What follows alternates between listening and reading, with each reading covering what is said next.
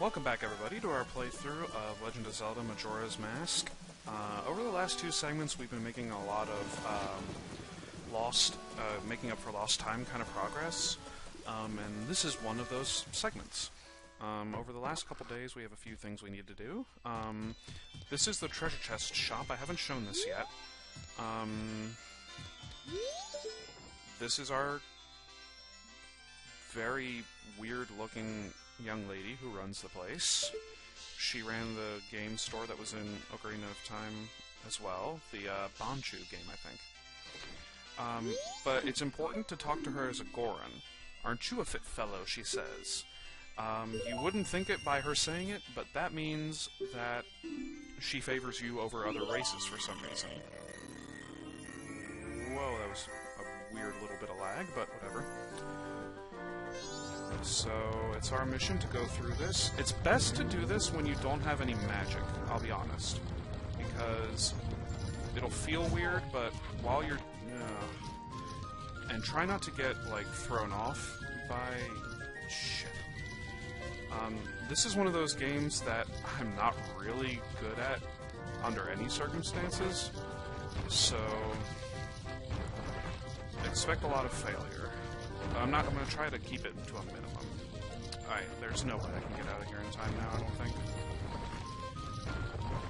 Um, but when you do it, here's what I'm ultimately getting at. When you do this game as a Goron, normally what's in the chest is just rupees.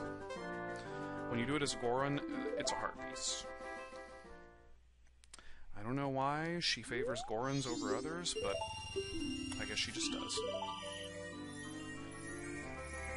I know there's usually some kind of strategy involved in this game, this particular game, but I can never remember exactly what it is.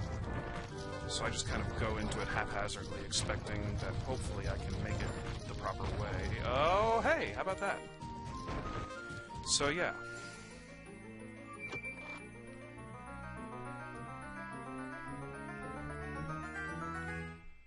And we got us a heart piece.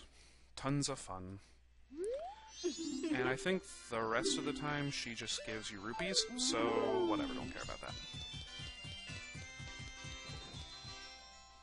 So thankfully that wasn't didn't take too terribly long. Um, now I'm legitimately going to do it this time. The archery game.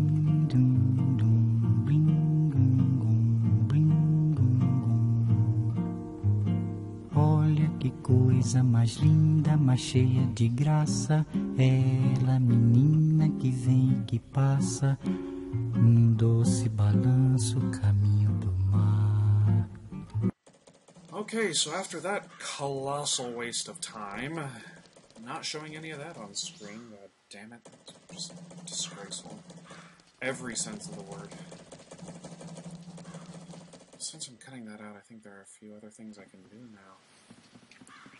I'll start using the Goron to get around faster. I don't care if I have no magic, this helps anyway. There we go. Yeah, I don't think I've gone by this way yet. Um, this is Milk Road. Um, a couple things we can do here. First of all, bang.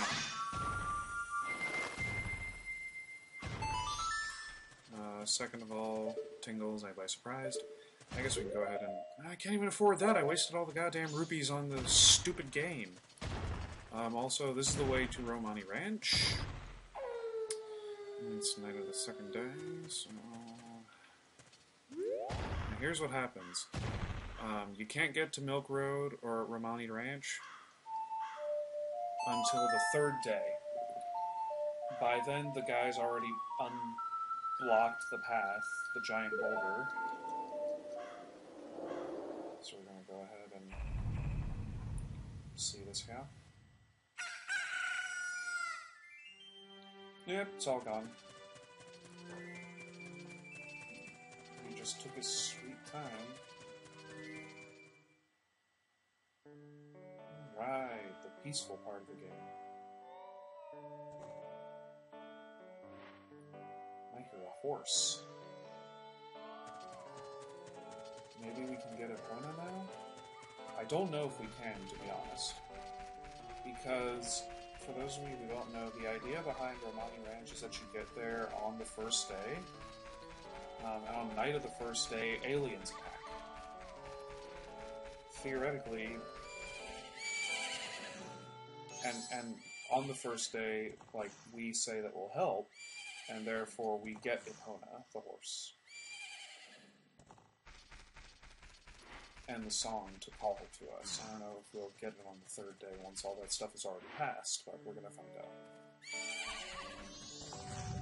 Still brooding over how terrible I did.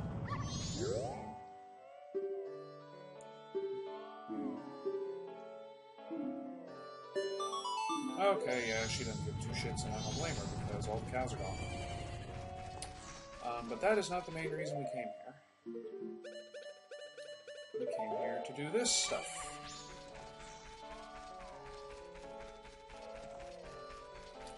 And by the way, we'll do the stuff to do with Malin probably next segment, next three day cycle, after I'm done with what's it called?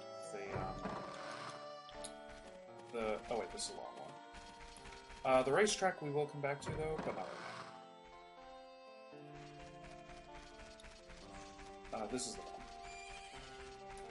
Um, probably the next three day cycle, I'll go through the entire temple. Um,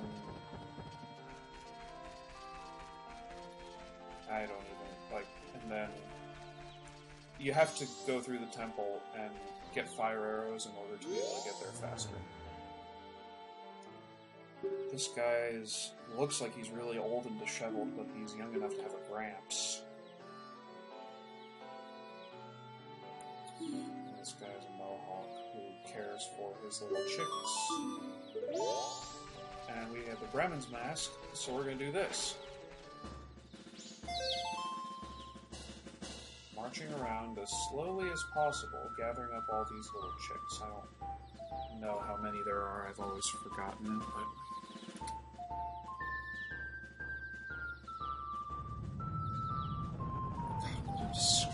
I'm sorry. I still cannot get over how terrible I did. And I'm not showing any of it on screen because it was just awful. I wasted all the money I've had.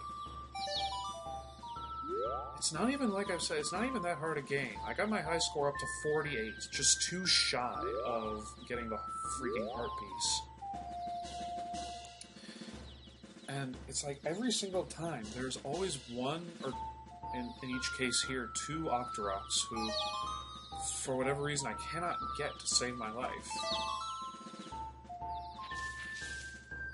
Get it. Uh, again, I don't know how many there are, but there should be. It looks like there's only two more.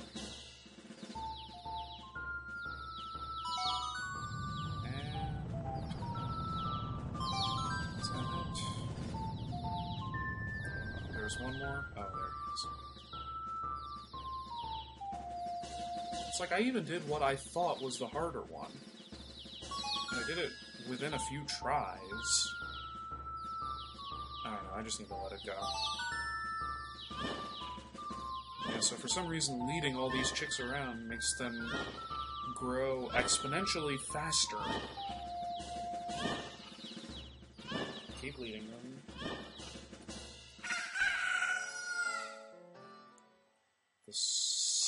Circle of life? Yeah. It gives us the bunny hood! Easily the best mask in the game. Quote unquote mask. For one simple reason. And that is. We can walk faster! Yay! Thank God! Don't have to, like, go running around and uh, rolling around and everything like that. Okay, so I think.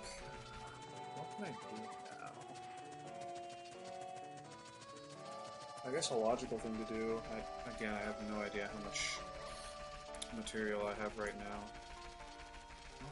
Oh, here. Um, here's what I'll do. We'll go ahead and reset time completely. Um, and we'll get to Snowhead will start doing stuff. And I'll continue to be as vague as possible.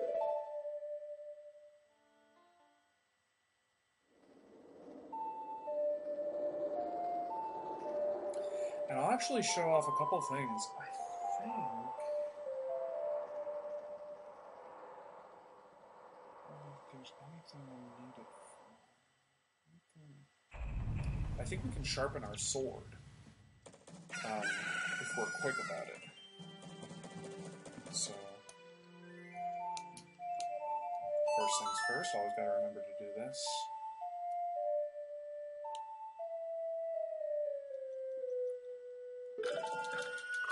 Alright, now we don the bunny hood.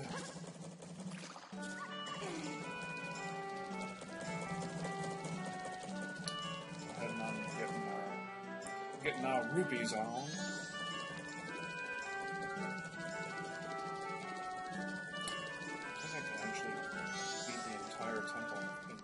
Quick about it. And remember to take off your bunny hood when jumping across those. Otherwise, you'll jump too far into the basket in the center. And that's not necessarily a huge problem, but it gets annoying. Yeah, Hundo. Ooh. Warpin' Town. Oh. There we go. It's warping time! La Village de Montagne.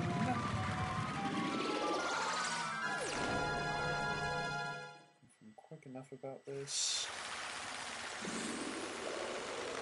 And get us over here. And the reason I was thinking before was he's it's it's gonna take away our sword, obviously, to work on it. And it takes an entire day. But I don't think there's anything. Shut up. Oh, wait. Guess who's stupid? This guy. Yeah, things frozen. These guys are pretty annoying. Yeah, never mind. Uh, we can't do that yet, because we have to defeat Snowhead Temple and make it spring again. So we are gonna do that.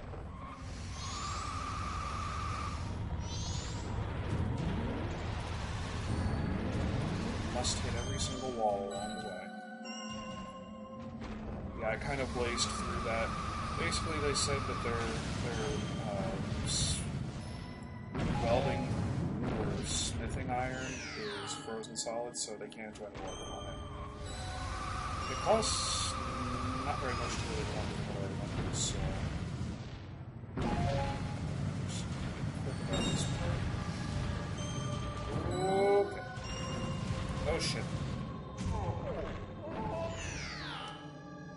Well, this is exactly how you don't do this part. By failing a large amount. Oh, no, no, no, no, as well. Okay. Yeah, you have to do this a lot, so get used to it. Oh. Why do I need the magic, you ask? Well, you'll see if you don't already. Oh, oh took that too. So here we are at Snowhead, the temple itself. There's a strong gust of wind that looks like it would blow us right off and kill us completely. First things first. Always good to have.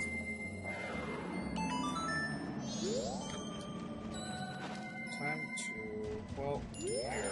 This is what that is, for those who don't know. Use Lens of Truth and you see it's a giant Goron. Being a dick. That's all I can really describe it as.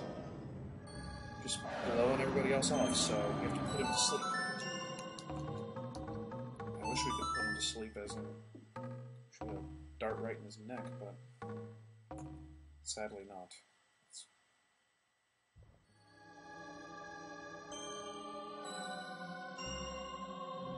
He nods off a little bit.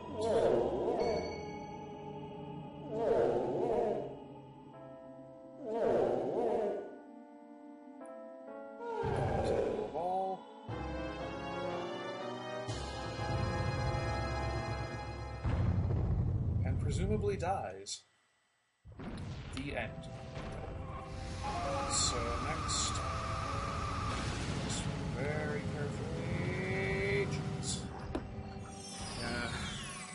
case you can't tell, I'm not the best driver of a Goron, per se.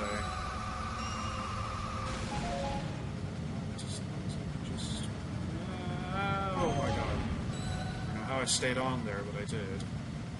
Now comes a part where you don't have to keep doing this, so I'm not, because I can't really. It's pretty cool if you can, because this pathway gets pretty narrow, and then you have to just, when you're not doing the spike rolling thing, you just have to punch those giant snowball boulders, or just dodge them, whatever. Not that hard to dodge.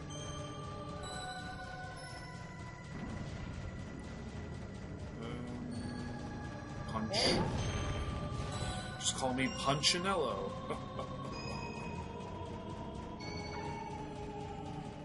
Alright, and now we are in Snowhead Temple. And I have officially had it with recording this goddamn game. I don't want to burn out any more than I already have, like I did on that uh, stupid uh, archery game, so. Next time. Oh god. Forgot about these. These are white fuzzies. They are easy to kill, just have to be quick about it. Alright. So next time, we will journey into Snowhead Temple, and I will try to beat it as quickly as possible. Thanks everybody for watching. Sorry that I didn't accomplish exactly what I would have liked to. Next time will be different. So until then, everybody, thanks for watching. See you all later.